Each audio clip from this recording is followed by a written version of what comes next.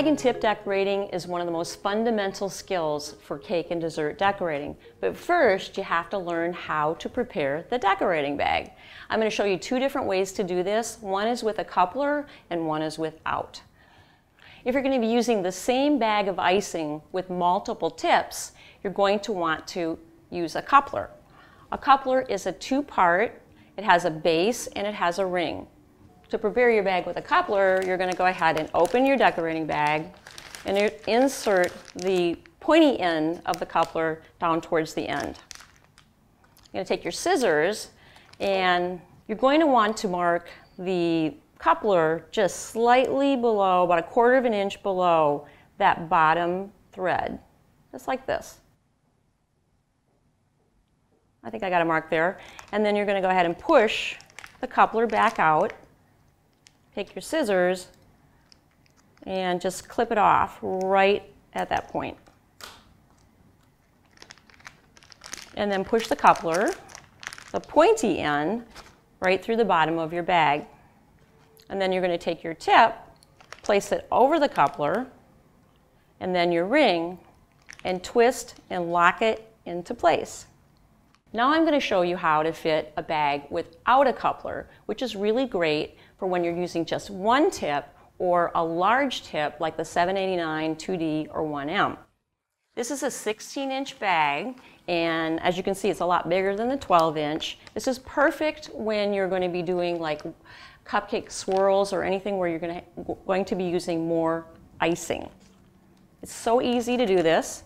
You just take your tip and you're to drop it directly down into the bottom of the bag. We're to go ahead and make a mark a little bit lower than the halfway mark with my scissors here. You want to make sure it's a bit lower than halfway because sometimes when you're putting pressure on the bag, if you got lots of icing in there, it can actually push the tip right out through the bottom and you don't want that to happen. So all you have to do is push the tip back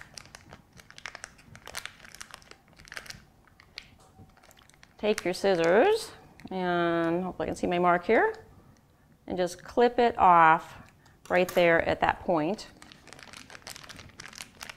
and push the tip back through the bottom of the bag. The key to properly filling a bag is to not overfill it.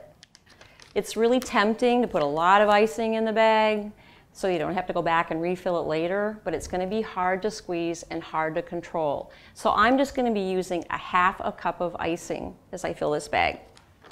All right, I'm gonna go ahead and cuff back the top about halfway.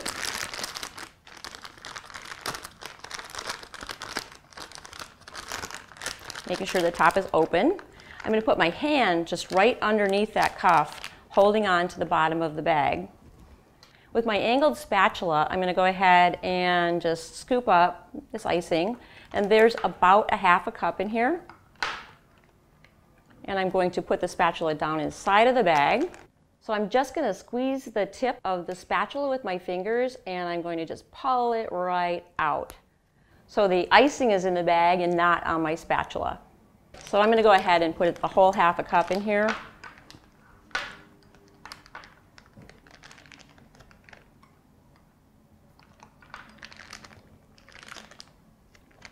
Just the same process every time. And you can see that this is just about a half a cup. I'm going to go ahead and fold the top of my bag back up and then gently squeeze the icing down into the bottom of the tip. Now I'm going to show you how to hold the bag. Learning how to hold the bag is going to help you achieve even piping. The first thing we need to do is twist the back of the bag and with either a rubber band or a bag tie, you're going to go ahead and secure the back if you like. You don't have to do this, but it helps, especially for beginners. The most important thing to remember is you're going to be using the palm of your hand to put pressure on the decorating bag. This is going to help your hand from getting tired. If you're using the top of your hand or the bottom of your hand to squeeze or put pressure on the bag, it's going to fatigue really quickly. So you want to make sure that you don't overfill the bag. This is a common mistake for beginners. Just remember, less icing in the bag is going to make it easier to squeeze and to control. So let's get started. I'm going to show you how to do this.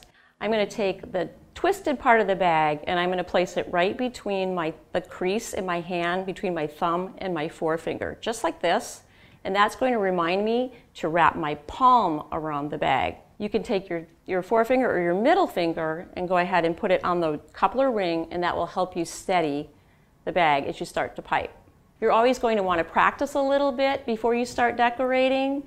You can do that on wax paper or a cutting board or any kind of flat surface. But I have a cake circle here and I'm going to make a few stars.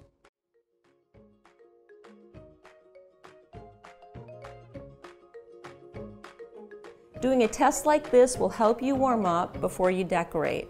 Play around with it, practice, and you're going to get the hang of it.